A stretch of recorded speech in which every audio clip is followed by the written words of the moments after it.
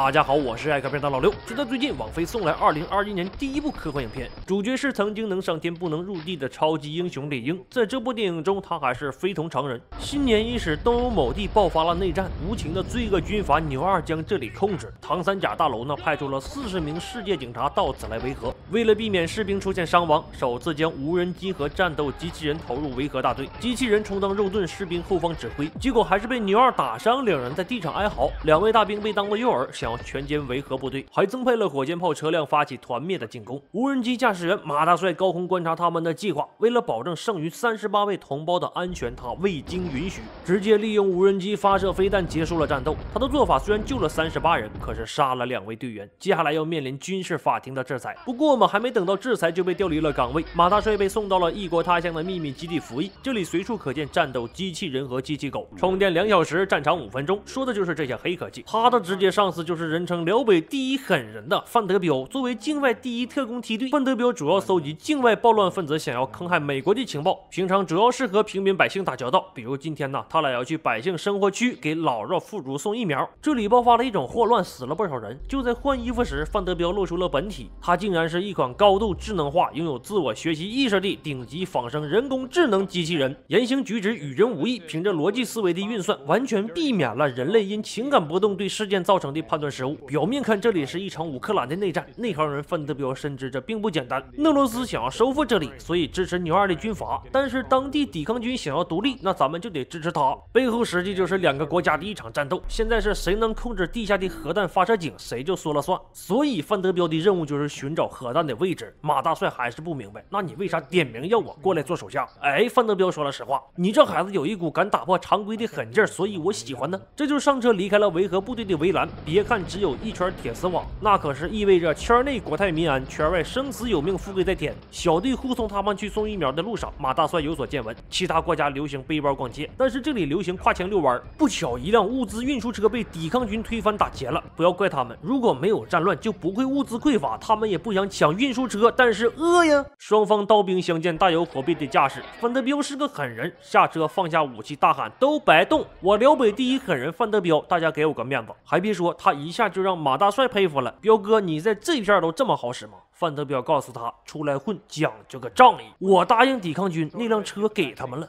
顺便给他们家人送疫苗，也就让咱们过去了。结果楼顶梆一声枪响，打破了和平。牛二叛军组织点燃了导火索，打破了宁静。范德彪拽着马大帅就跑。打仗那是当兵的事儿，他的任务呢是送疫苗。俩人走街串巷跳窗户，算是跑了，暂时也帮不了队友太大的忙。早就说了，离开围栏到外面那就是富贵在天。走了能有一小天，他们到了抵抗军的难民营。刚交接完疫苗啊，牛二潜伏在这里的杀手就放了一个黑枪。范德彪常年混迹于此，早就嗅到了火药的味道，一个闪躲避开开了子弹，回手。一枪打中了杀手的大动脉，手指头抠进去，让他交代牛二的下落。杀手明显接受过这方面的训练，疼的是龇牙咧嘴也不说。范德彪不想浪费时间，把他交给了抵抗军，乱棍打死。接下来他们搭便车就到了儿童福利院。要说为什么来这儿呢？因为抵抗军首领是福利院院长玉芬他一边教育孩子追求自由，一边安排家长参与战斗。他和范德彪有个协议，只要抵抗军拿到了疫苗，就告诉他核弹的下落。最近军阀牛二也有动作，正在寻找核弹。他们一旦拿到核弹，华盛顿。肯定会遭殃。为啥大反派都要炸美国呢？你说怪不怪？接下来范德彪支付了一大笔钱给玉芬，一部分是买核弹消息的，一部分是买武器的。马大帅不解，你这不是福利院吗？怎么还卖上武器了？玉芬一瞧，这就是个菜鸟。你以为我养活孩子不花钱呢？不卖点武器，孩子吃啥喝啥？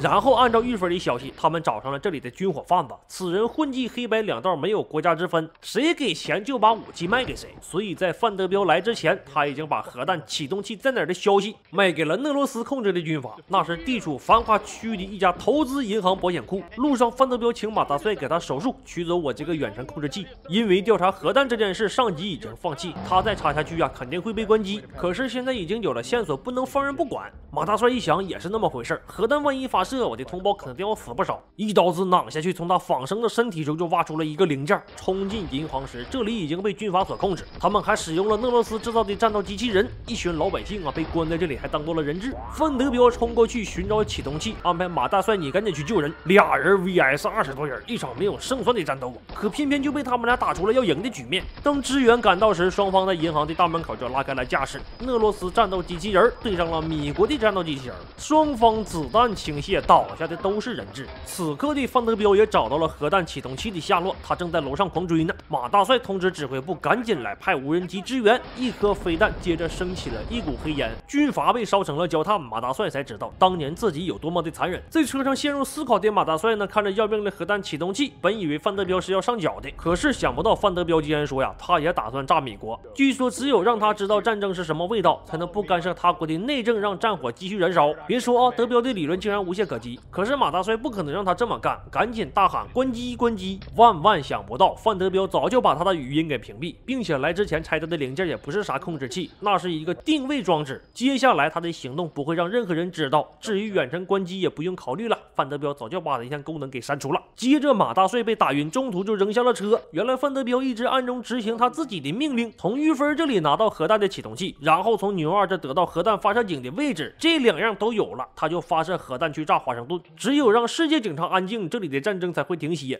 此时此刻，德彪费尽了周折，灭掉牛二，拿到了核弹发射井的位置。幸好这一切都被马大帅猜个八九不离十。回到基地，赶紧打电话给以前的无人机同事范德彪，这小子定位消失，咱们就用无人机来排查。最后锁定他开车进入了俄罗斯边境的一处废弃工厂。大领导一听，不行啊，小伙子，那地方咱们军队不好直接介入。按照国际惯例来看，这个锅只能是你来背。抓住他，大功一件，死了一了百了。作为一名爱国的热血青年，马大帅肯定得上啊！走进工厂，那是遍地尸体。德彪早就得手，正在启动核弹。二人还进行了一番有关正义与和平的演讲。大帅认为武力不能带来和平，德彪认为枪杆子下面出自由。这场谈判注定要出人命。德彪被一枪打穿，大帅也被他敲晕。华盛顿的死亡五分钟倒计时启动。就当马大帅悠悠转醒时，对着范德彪打光了一梭子子弹，拧了一圈，这东西竟然无法停止。马大帅转身就跑，呼叫无人机，赶紧炸，赶紧炸！伴随一阵黑烟升起，华盛顿的人民安全了。马大帅立功受勋，重返岗位，电影结束了。